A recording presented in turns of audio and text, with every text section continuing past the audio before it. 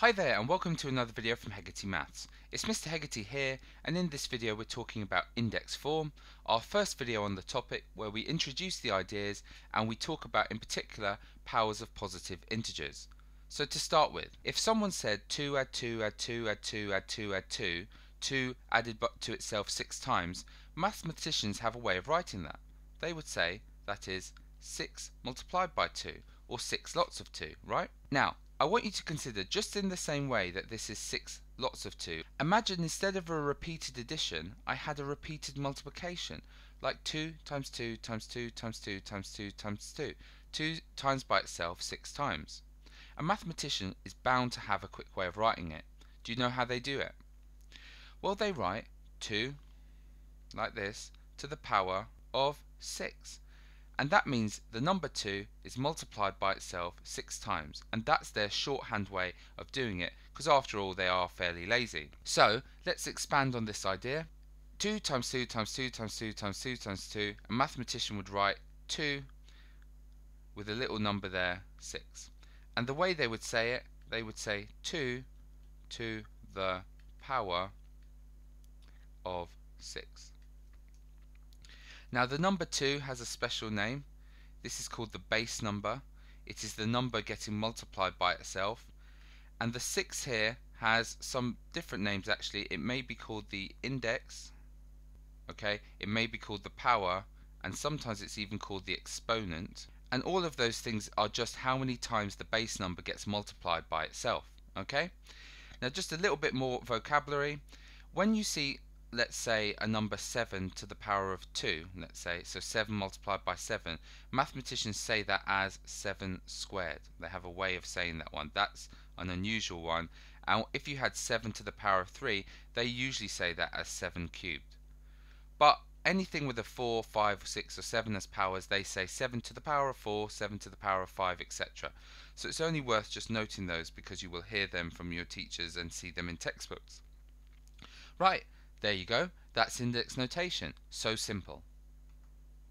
So, I want us to fill in some tables of index notation just to get the feel and the flavour for what they look like and start spotting some patterns that's going to help us later on. Imagine I gave you 2 cubed or 2 to the power of 3. What does it mean? Well, it means 2 times 2 times 2, which is 8. The next one, what do you think the one below I'm going to give you? That's right, 2 squared, that means 2 times 2 and the answer is 4. Now look what's happening here. As I'm going down I'm reducing the exponent of the power by 1. I'm getting 1 less 2 in my multiplication and I'm halving my answers aren't I? 8 divided by 2 gives me 4. So what do you think the next one is going to be? Well it's going to be 2 to the power of 1 which will be 1 2 multiplied by itself and 4 divided by 2 as I go down is clearly 2. What do you think the next one's going to be? 2 to the power of what? That's right, 0. Now, it's going to be the answer 1 and why? Because as we were going down we said we were dividing by 2, alright? And 2 divided by 2 is 1. So 2 to the power of 0 has to be 1. There's nothing else it can be if the pattern's working. Now here's where it gets tricky. The next one is going to be 2 to the power of what? Negative 1, that's right. And because we're dividing by 2 each time, 1 divided by 2 is 1 over 2, a half. And what do you think 2 to the negative 2 is going to be? Can you spot that? Well, it's going to be 1 over 2 times 2. Okay, you're going to divide by an extra 2. You're going to have an, or think of it as you're going to have an extra 2 multiplying on the denominator. So you're going to get a quarter. And can you imagine what the last one's going to be? 2 to the negative 3. It's going to have 3 2's multiplying together on the denominator and the answer will be an eighth. And that's almost all the rules on index form okay for the remaining videos coming up so I just want you to look at that and see if you can study the patterns. On that note then could you take a second pause the video and fill in the meaning column so for example in this case I want you to write 3 multiplied by 3 multiplied by 3 and then the answer which will be 27 see if you could fill it in for the other powers did you get the following? Hopefully you did. I can't encourage you enough to try doing these because the minute you start doing them and you spot what's going on in the pattern, you're learning so many of indices rules that are coming up in the forthcoming videos. Try another one. Can you fill that in? Pause the video, do have a go. Well, hopefully you got the following, okay? And if you did do the video, you are really starting to spot the patterns here. So let's do one more. Could we fill all that grid in? Hopefully you got the following. And the last one, powers of 10, really important. Could you fill the whole table in? And hopefully you got the following. So do check you got that and do practice that for me because it's going to make the forthcoming videos super easy. Right, let's do some questions. Write the following in index form. 1, 9, 2, 9, 3, 9, 4, 9, 5, 9, 6, 9, 7 9s multiplied together. Our base number is 9. Our exponent or indice is 7, 9 to the power of 7. Next one, 2 times 2 times 2 times 2 times 2. That's going to be 2 to the power of 5.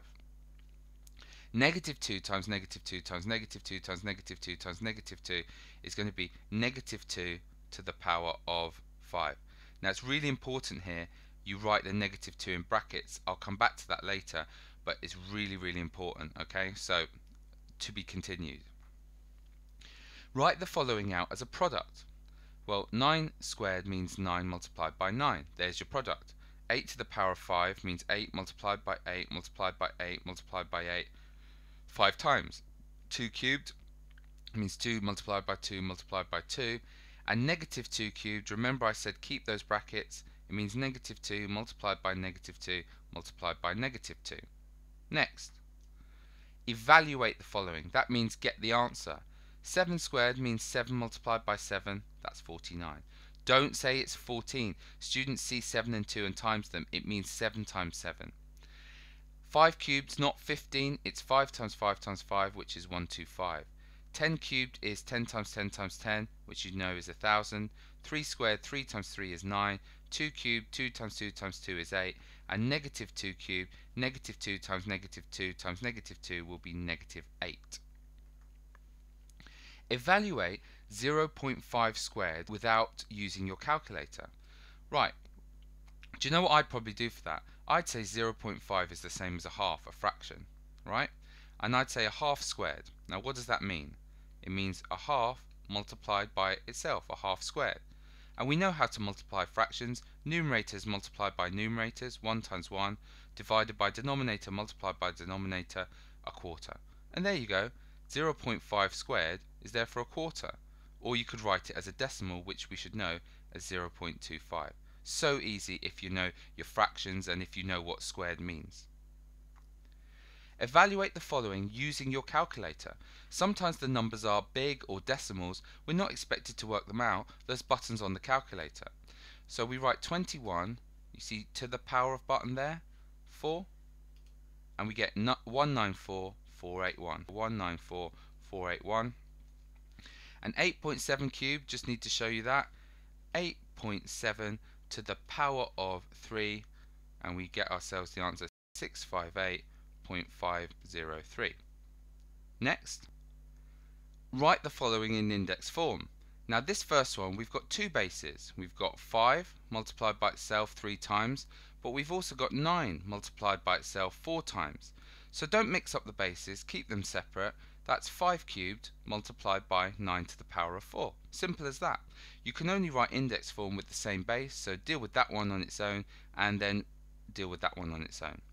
Now the next case, we've got two bases again, because what we've got is we've got a 3 multiplied by 3 multiplied by 3, and we've also got ourselves an 8 multiplied by an 8 multiplied by an 8 multiplied by an 8.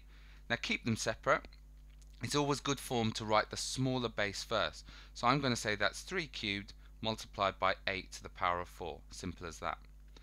Now the next one, we've got two bases again.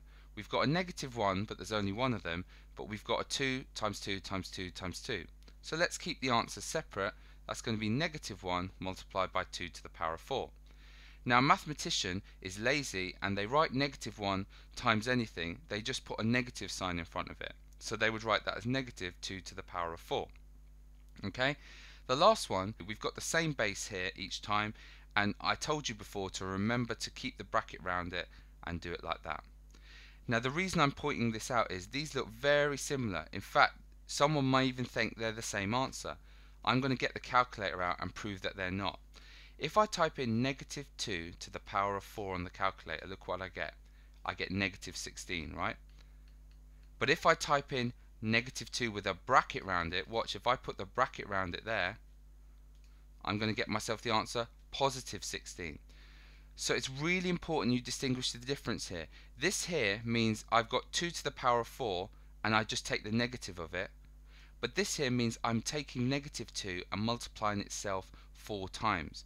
So you must write your brackets in, otherwise if you mean to write this, put your bracket in.